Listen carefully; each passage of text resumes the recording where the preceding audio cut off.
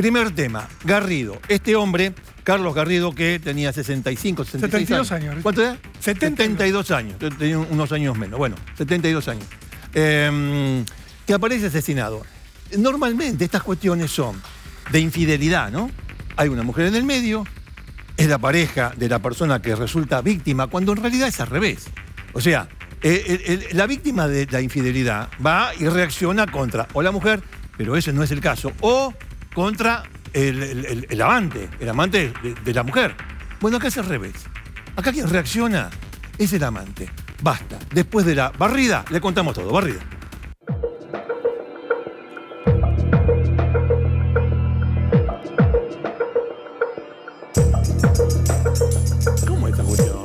Una- una- reacciona el otro. Sí, porque eh, es una historia que va a contramano de lo que solemos contar, de las Claro. historias que conocemos, de lo que antiguamente se conocía como crímenes pasionales. Exactamente. Estamos hablando de una víctima de 72 años que está aquí en la pantalla, que se llamaba Carlos Garrido, tenía 72 años, había hecho una importante carrera como piloto de TC de turismo carretera. Tenemos algunas imágenes que les vamos a ir mostrando. Miren, de sus tiempos de corredor, por supuesto, Claro. ya 72 años, estaba retirado hace un tiempo. Este era uno de los autos que supo correr en su momento, para que lo ubiquen, para que empiecen a darse cuenta de cuál es el escenario y cuál es la víctima. Un hombre que tenía distintos negocios, que ahora estaba retirado. Una foto, recién lo veíamos, con el flaco Traverso. Garrido vivía en la zona de Mar del Plata, mientras seguimos viendo imágenes de su carrera deportiva. Tuvo distintas parejas, estaba en los últimos tiempos en pareja con una mujer más joven que él, con la cual vivía en una casa quinta en las afueras de Mar del Plata, junto a la ruta 88. Lo marco porque es una propiedad muy bonita, muy linda, pero que requiere de algo, Richard, Mm, de un casero. Muy una de esas grande. casas, claro, Claro, también es una quinta, ¿no? y no la podés dejar sola. No, no, obviamente no. corren, con lo cual la vivienda, esta casa quinta, tenía un casero. ¿Qué ocurre el 29 de abril pasado? El casero de esta propiedad, un hombre que se llama Oscar Acevedo, llama a la policía desde la casa quinta. Por favor, vengan urgente. Entraron ladrones a la casa quinta. Lo mataron a Carlos Garrido, al piloto de TC. La policía, Richard, va para el lugar de inmediato.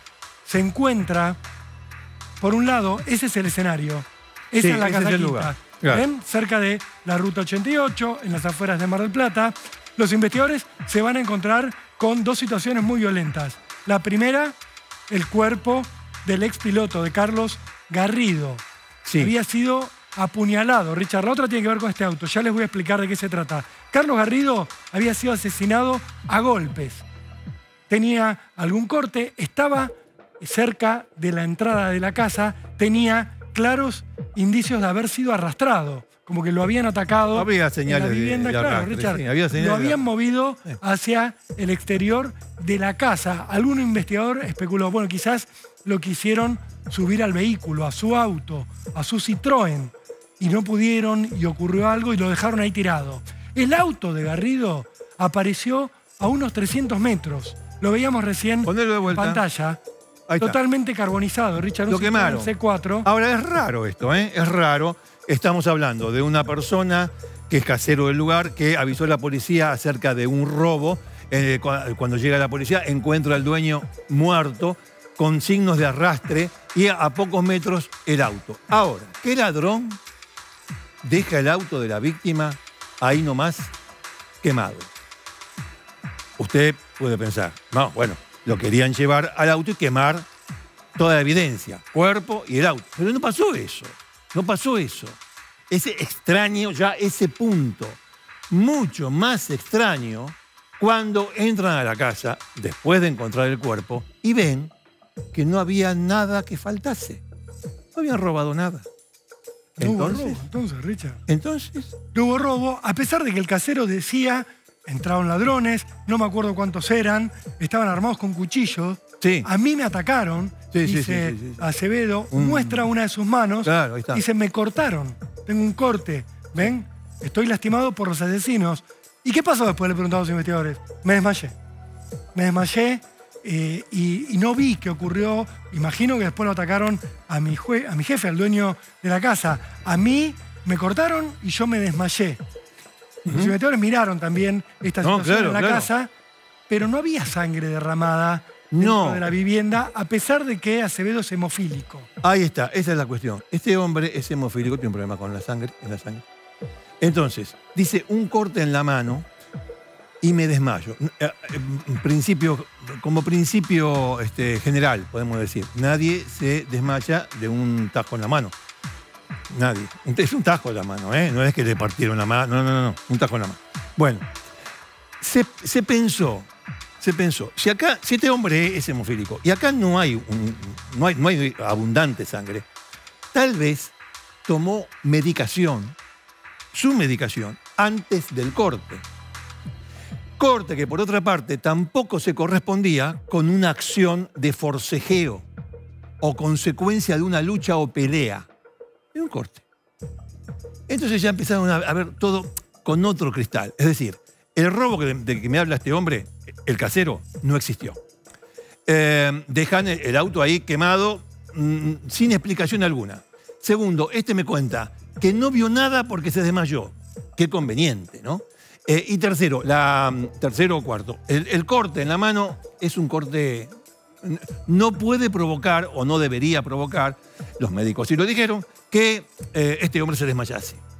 Entonces pensaron en esa posibilidad. Tal vez tomó la medicación antes. Y si tomó la medicación antes, es evidente que está mintiendo en todo. Es evidente. Así especularon por primera vez los policías, los investigadores. Y en esa línea siguieron avanzando. Richard, se van a meter a partir de esto que vos también explicás en las cuestiones personales, porque si no había sido un robo, si no había un ataque violento realmente contra el casero, evidentemente tenía que haber otra motivación. Ahí empiezan los investigadores a recabar información sobre lo que habían sido los últimos meses de la vida de la víctima, de Garrido, de Carlos Garrido, del piloto de TC que había sido asesinado. Descubren que tiempo antes del asesinato, la pareja del piloto, la pareja de Garrido, había planteado ante la justicia un pedido para que lo excluyeran del hogar, para que lo echaran de esa casa quinta a donde él terminaría siendo asesinado. ¿Qué manifestaba? Bueno, situaciones supuestamente violentas. Pongamos todo en un, manto de duda. ¿Por qué? Porque el resultado fue el asesinato de esta persona. Pero cuando retroceden un poco, aparece la pareja diciendo, no, él es violento conmigo y tienen que sacarlo del hogar. Garrido, de hecho, se va del hogar. ¿Qué había en el medio? Una infidelidad. Una infidelidad prolongada de esta mujer hacia Garrido. Esta pareja se había acostado reiteradas veces con otro hombre. Esto se encuentran los investigadores. Garrido, al descubrir esto, obviamente se había ido por pedido de la justicia, luego la mujer había abandonado la vivienda familiar y él había regresado. Regresó poco antes de que lo mataran.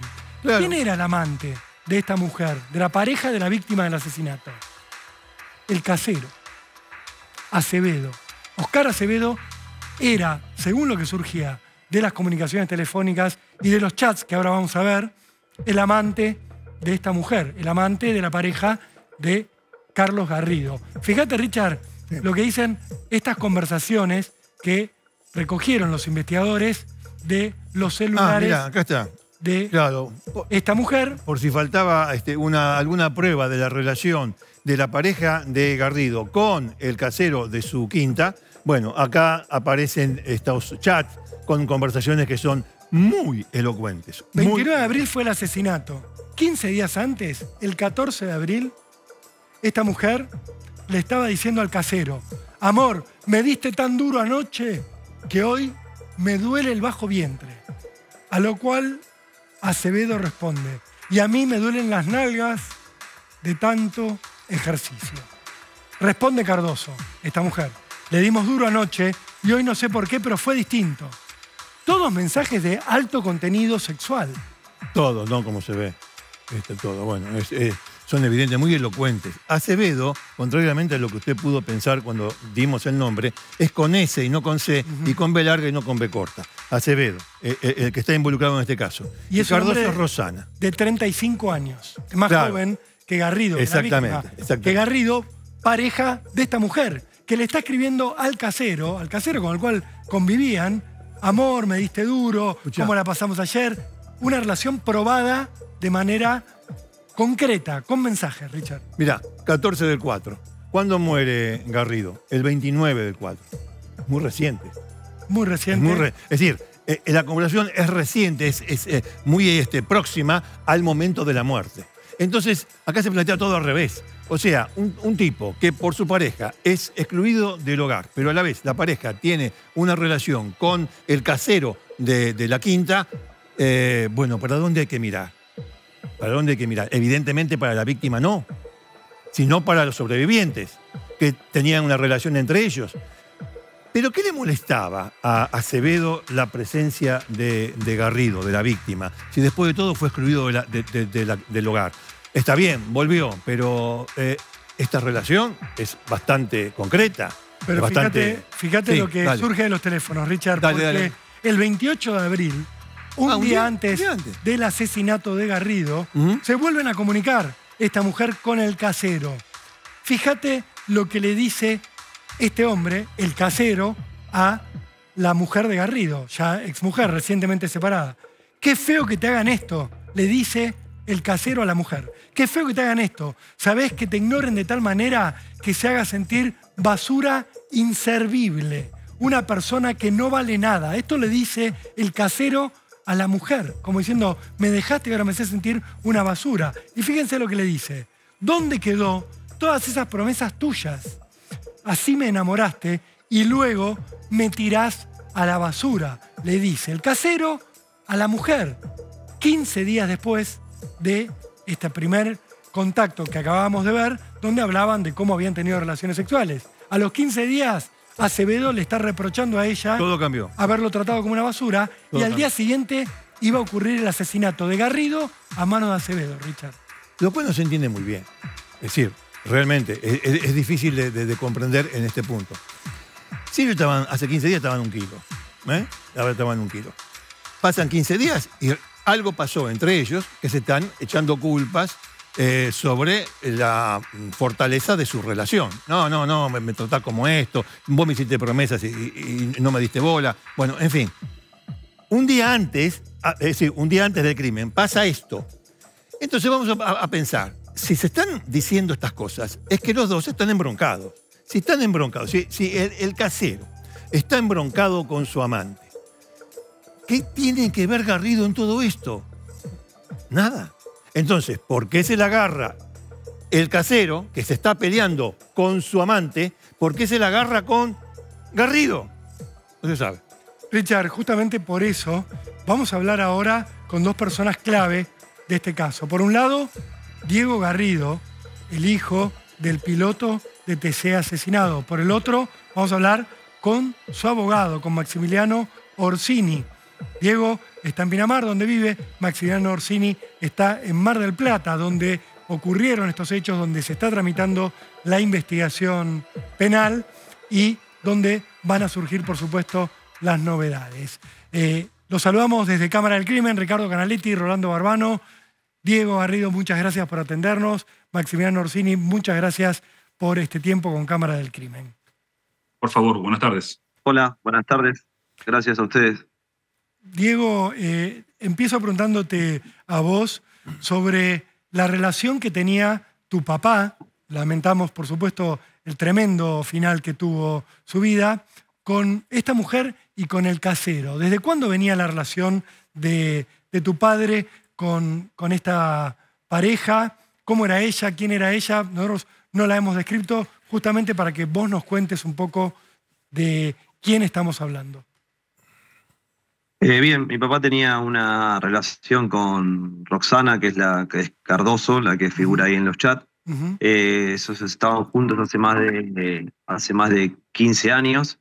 Eh, y bueno, eh, ellos estaban, por lo que uno podía ver en el entorno familiar interno, estaban, estaban bien, estaban juntos. Habían decidido irse a vivir al campo porque, eh, bueno, a ella le gustaba y a mi papá también, porque mi papá por ahí viajaba mucho los fines de semana para las carreras. Entonces era, era por ahí su lugar de, descanso, de relax. Eh, y venía todo, todo normal, no había, no había ruidos en el medio sobre nada, ni, ni uno tampoco se enteró internamente si, si obviamente había discusiones por ahí de parejas normales, eh, pero bueno, nunca, nunca supimos mucho más, mucho más que eso. yo tuve relación tanto con ella, iba a comer junto a ella a la casa, junto a mi papá y demás. Eh, pero bueno, la relación siempre fue, fue muy bien hasta el momento que, bueno, que, que pasó lo que pasó, que yo me, me, enteré que a mi papá le habían puesto una, una perimetral y demás. Y bueno, ahí me, me, empecé a empapar un poco más en el tema de cómo, de cómo venía todo su, su relación, porque esos 10 días que estuvo fuera de su casa, estuvo viviendo en la mía. Claro. Eh, así que bueno, ahí pudimos sentarnos y charlar un poco mejor y conocer un poco más a fondo de lo que venía pasando. ¿Estaba enterado tu padre de alguna infidelidad por parte de su pareja? Sí, él un día llega de una carrera un poco más temprano de lo normal y sí, encuentra una situación extraña entre Acevedo y Cardoso, en el cual obviamente por ahí como hombre vio, preguntó qué pasaba, qué no pasaba, hubo una, una, una discusión, pero solamente discusión verbal, jamás hubo eh, nada, nada físico. Eh, y bueno, eh, eso quedó, quedó ahí en la discusión y después cuando ella decide, decide separarse y bueno, y ahí fue cuando le pone la perimetral y mi papá estuvo esos días fuera de la casa. ¿Qué argumentaba ella para pedir una perimetral, una exclusión de lo ¿Cuál era el argumento? El argumento de ella dice que era como que tenía, tenía miedo que mi papá hiciera algo, obviamente. No porque le hubiese hecho, disculpame que te interrumpa, no porque le hubiese hecho algo, sino por el miedo a que le hiciera algo. Exactamente, sí, mm. exactamente, por el miedo a que le hiciera algo. Porque, a ver, la comunicación, mi papá se entera que, se separa por un llamado telefónico, mi papá está llegando a Dolores, iba, a una, una carrera de turismo carretera, sí. llega a Dolores, le suena el teléfono y ella le dice que se iba a separar, eh, que no quería saber más nada, esto, lo otro. Eh, mi papá obviamente preguntando el por qué, qué pasaba, qué no pasaba, y ahí es donde le dice, eh, seguramente estás con, ese HDP que ahí en el campo, vos y él, siempre lo mismo. Eh, y bueno, y sintió ella como que, como que era una amenaza, entonces le puso una perimetral para que mi papá no pudiera ingresar cuando volviera de la carrera. Y tu papá ya no pudo regresar a su propia casa por, por esta demanda que le pone ella. Que te pregunto entre paréntesis, eh, ella es menor que, tu papá, ¿verdad? Una mujer más joven. Sí, sí, era, era, unos años, era, unos años menor. Creo que tiene 48, 49 años, Roxana. Claro. Ahora, tu papá cuando se encuentra con esta situación que eh, Roxana, su pareja, le dice, te voy a dejar y te pongo una perimetral para que vos te tengas que ir. ¿Él toma alguna medida respecto al casero? O sea, ¿lo echa, le dice que no puede trabajar más en la casa o mantiene la situación como estaba? No, nada. Mi, papá, como el casero estaba en negro, mi papá eh, habló con el abogado de él, personal, le preguntó qué hacía. El, abogado le dijo que lo dejara un tiempo más, que, después, una vez que pasaran, que pasara un poco el tiempo, sí, lo, lo, sacara de ahí. Eh, pero nada, nada más que eso. Mi viejo siguió viviendo en su casa, el casero vivía en la casa de al lado.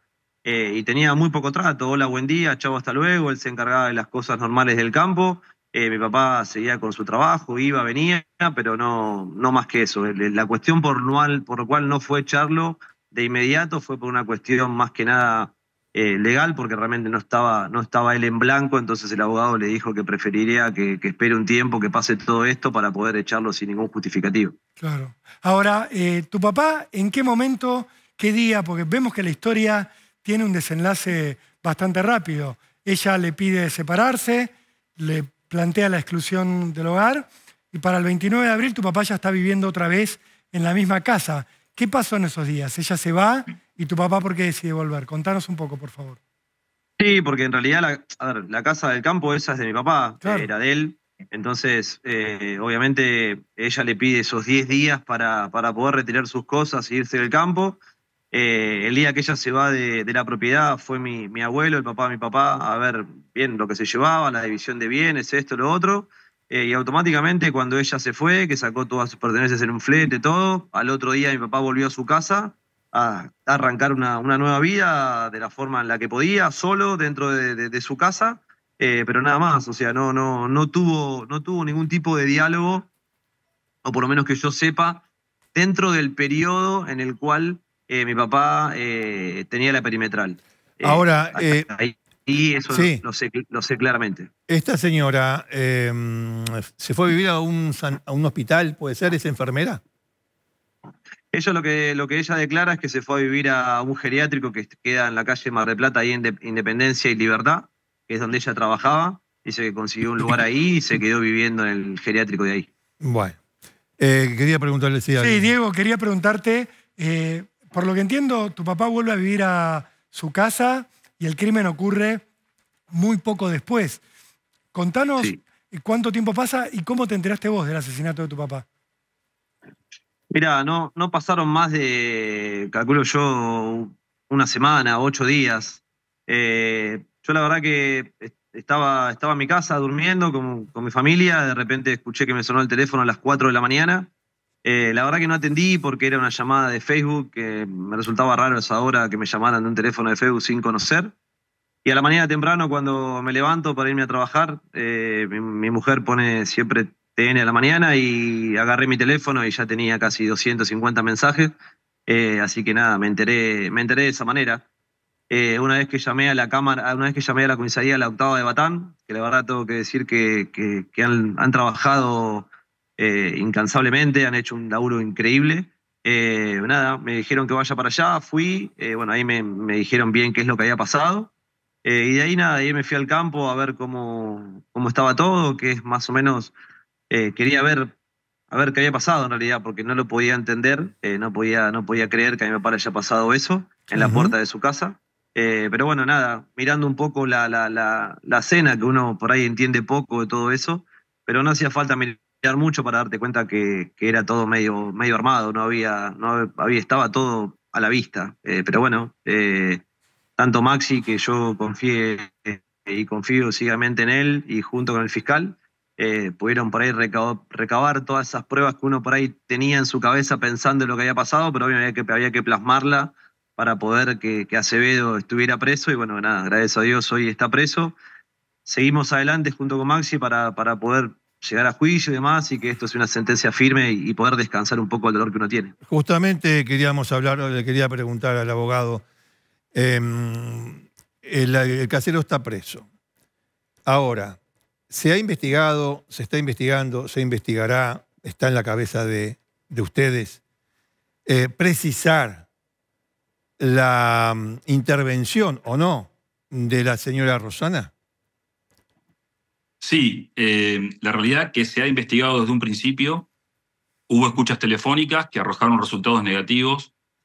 Eh, hoy por hoy esta persona está detenida, no ha apelado la prisión preventiva a la defensa, o sea que ya está firme el, dic- el dictado de la prisión preventiva.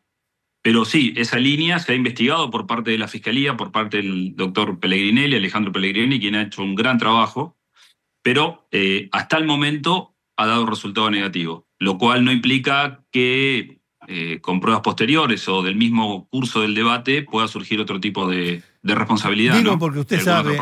Digo porque usted sabe, estuvimos hablando recién con Rolando, que los casos son generalmente al revés, ¿no? Es el marido que sorprende o, bueno, se va haciendo la cabeza acerca de la revancha, esto, lo otro. Acá no. Acá es, después de los antecedentes que ustedes bien explicaron, eh, que, que tenía este, eh, eh, Garrido con esta señora de 15 años de convivencia, con, eh, con Acevedo, esa situación en que los encuentra en un momento un tanto extraño, confuso, bueno, en fin, todo lo que ya hemos dicho. Teniendo en cuenta esa circunstancia, eh, no surge en absoluto una, o por lo menos no parece surgir, la motivación. No es que sea necesaria la motivación, sabemos perfectamente el que mata a otro, homicidio, y después veremos si hay algún agravante. Pero entre ellas, digo, este, ¿por qué? ¿Por qué? Es decir, el, por qué a, mm, mucha gente le, debe estar dando vuelta en la cabeza. Y bueno, este, si ustedes tienen una explicación al respecto, le la preguntamos. Mire, yo lo que entiendo, en base a lo que es la prueba, hay mucha prueba indirecta. En un principio, eh, luego de analizar la causa profundamente, eh, parecería o parecía ser un crimen perfecto, porque no olvidemos que el, homicida se encargó hasta de eh, meter los teléfonos eh, dentro del vehículo para que se calcinaran. Ambos teléfonos eran, eh, fue imposible tratar de peritarlos por el grado que tenían de siniestralidad, estaban absolutamente quemados. Perdón, doctor lo tengo ahí. ¿Los celulares de quién? ¿De la víctima? ¿Del mismo? ¿Qué celulares quema el casero dentro del auto? Un celular de la víctima un celular de la víctima y el otro celular no se puede saber de quién porque es imposible identificarlo o peritarlo. Pero hay dos celulares que aparecieron en el asiento del acompañante. Seguramente fueron ingresados en el momento en que estaban prendiendo fuego el auto. Claro. Eh, no se pudo peritar. Ahora, es muy importante el análisis de la conversación de WhatsApp que ustedes han hecho al iniciar la nota, en donde si usted ve desde el 20 de abril al 29 de abril, lo que hay son mensajes de Acevedo hacia su amante, pero ninguno de estos mensajes fue contestado. De hecho, el tenor de esos mensajes, la falta de correspondencia por parte de su amante, entiendo yo, fue lo que motivó eh, este lamentable hecho. ¿Y por qué digo que lo motivó? Porque Acevedo también sabía que eh, la víctima había recompuesto su relación con esta señora Roxana. Ah. Iban en ah, esa vía a recomponer la relación. Entonces, entiendo yo que él ha pensado, bueno, esta era la mejor salida para él para poder volver con esta mujer. O sea, eh, la hipótesis que tiene en este momento la justicia es Acevedo entabla una relación clandestina con Roxana Cardoso, con esta mujer. Ella luego lo deja, porque vimos recién los últimos mensajes donde él le hace reproches, ella no le responde, y luego hay una reconciliación de esta mujer con la víctima, con Carlos Garrido, y esto podría haber generado, obviamente no es una lógica, pero sí entender la motivación. En el asesino la idea de eliminar a Carlos Garrido del medio para poder retomar la relación. Esto es lo que ustedes están viendo. Diego, te pregunto a vos concretamente, ¿vos sabías que tu papá había retomado la relación con Roxana? Mira, yo sabía que ese mismo día, eh, o sea, el, el 28 de abril, eh, ellos habían estado juntos, mi papá tenía que ir al, mi papá fue al médico a la tarde, y ahí fue, a buscar a Roxana, y ahí fueron a, ver unas cosas y terminaron tomando un café en la Fonte de Irigoyen en Libertad, ahí en Mar del Plata, tipo siete y media, ocho de la tarde, y de ahí después papá ya se va para el campo y pasa lo que pasa. Pero sí, yo me enteré, dicho por él, que este último tiempo se habían estado viendo, que habían estado intentando eh, armar de vuelta su relación, empezar otra vez de cero o intentarlo. Eh, pero bueno, nada, eh, no, no, no, le dieron tiempo a que pase eso. No, pero eh, esto es, una revelación, Diego. doctor Orsini, por supuesto. lo matan a Carlos Garrido cuando regresa de una cita, por llamarla de alguna manera, con su pareja, con la mujer con la cual estaba obsesionado este casero. Él, el casero ya recibe a, a Carlos Garrido de regreso de un encuentro con esta mujer, con lo cual uno puede empezar a entender un poco qué le pudo haber pasado por la cabeza al asesino, ¿verdad? Claro, de hecho, eh, uno tomando en cuenta eh, este último encuentro que han tenido, si contextualiza el intercambio de WhatsApp, es lógico cuál pudo haber sido el, móvil, ¿no? Eh, la falta de respuesta de esta mujer desde el día 20 hasta el día 20 había respondido, bueno, nos da a entender de que había una ruptura sentimental y que él sabía que había recompuesto su relación y yo creo que ese, ese principalmente ha sido el detonante. Claro, y eliminando a Garrido habrá pensado, y bueno, me pongo en, el papel del tipo, habrá pensado que podía volver eh, con, con este, su amante. Eh, es una posibilidad, es una posibilidad. Pero bueno, quedó, es decir, eh, escarbando, escarbando se puede llegar este, a, una conclusión o, a, una, este, a una conjetura más o menos sólida. es importante, Diego, para uno terminar de componer el cuadro de situación. Después del asesinato de tu papá, ¿vos hablaste con Roxana? ¿Tuviste algún contacto? ¿Ella te llamó? Eh, ¿Cómo se manejó ella? Nunca más. Eh, después de que papá falleció, no fue, no mandó ni un mensaje ni, ni, saludando, ni dando las condolencias, ni tampoco fue al velatorio de papá, nada. Eh, no tuve nunca más ningún contacto con ella. Eh, ni un mensaje ni nada. Eh, así que nada, para mí es un enene, o sea, de repente desapareció de la faz de la tierra. Después de 15 años estar al lado de mi papá, que ni siquiera haya ido al velatorio, ya nos resultó un poco raro y que después ni siquiera mande un mensaje eh, saludando ni a la familia, nada, también. Pero bueno, es es materia que hay que seguir investigando para ver si qué es lo que, lo que pasa con todo eso. Bueno. Eh, la verdad es impactante la, la, ausencia de esta mujer, como desaparece cuando, eh, si bien no se puede probar que ella haya tenido alguna participación en el asesinato, uno piensa, bueno, de alguna manera ella generó un contexto donde terminó ocurriendo el crimen de, este, de tu papá, de, Carlos Garrido. Doctor Orsini, yo le quería preguntar concretamente, hoy la causa, ¿cómo está calificada? ¿Es un homicidio simple? ¿Hay agravante? ¿Qué pena hay en expectativa? ¿Por qué camino están yendo en este momento? Eh, la causa está calificada como homicidio agravado por alevosía. Eh, la pena es de prisión perpetua. Eh, los elementos para la alevosía estarían dados más que nada por un ataque que se hace en forma nocturna, por la espalda. La víctima estaba semiflexionada. tenemos todos, entiendo, todos los elementos para lo que sería la alevosía. Y después, bueno, toda la preparación del escenario que hizo esta persona y yo creo que uno de los puntos determinantes en lo que fue el dictado de la prisión preventiva fue la lesionología, es decir, la diferencia de lesiones que existen entre Acevedo y la víctima. Es decir, si ellos fueron víctimas de un ataque, como denunció Acevedo, de varias personas, eh, él solamente tenía un corte en la mano. Entonces, eso fue lo que tuvo en cuenta el juez de garantías al momento también del dictado de la prisión preventiva, que fue también aludido por el fiscal al momento de requerir la prisión preventiva. Es un elemento muy importante. Bien, o sea, la pena de expectativa es la perpetua. Em, perpetua. Bien, le agradecemos a los dos, realmente, Diego, por supuesto, eh, eh, por estos minutos con Cámara de Crimen. Han sido muy esclarecedores y vamos a, continuar con el caso como hacemos con todos aquellos que desarrollamos aquí en el programa. Muchas gracias. Gracias, gracias a ustedes. Gracias, Ron. Y bueno, de vuelta, déjame agradecerle a ustedes por difundir esto, esperar que se haga justicia.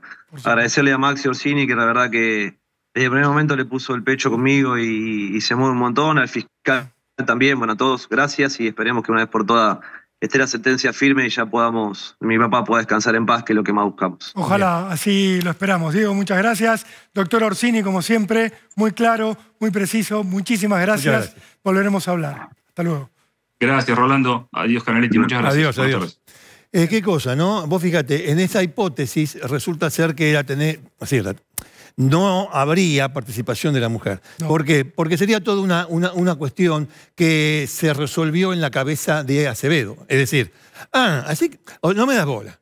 después de, pero hacía muy poco tiempo que era un romance fogoso. Sí. Bueno, diez días, nueve días, ¿no me das pelota? Bueno, y encima me entero que volviste con este, al, que vos le hiciste salir de la casa. Ah, yo se la voy a dar. Y va y lo mata a él. dicho de la manera más burda, más bruta, pero para entender el porqué, es la motivación. ¿Esa motivación tiene alguna lupa especial por parte de la justicia? Eh, la motivación no. La manera de matar sí, alevosa, por atrás. Ojo. Totalmente cobarde, eh, Carlos Garrido, que primero es víctima de una infidelidad y luego, por esa infidelidad, en la cual él no tuvo nada que ver, mm. termina siendo asesinado.